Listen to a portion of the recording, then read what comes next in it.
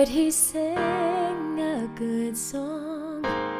I heard he had a style, and so I came to see him to listen for a while. And there he was, this young boy, a stranger to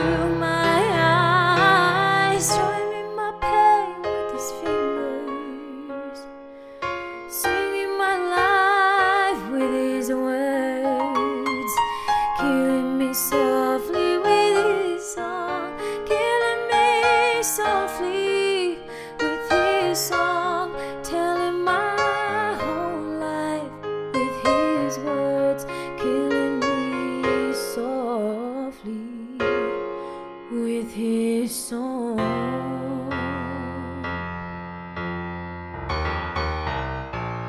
I felt all flushed with fever, embarrassed by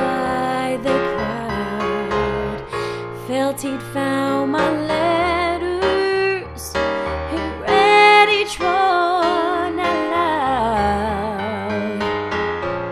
I prayed that he would finish, but he just kept right on,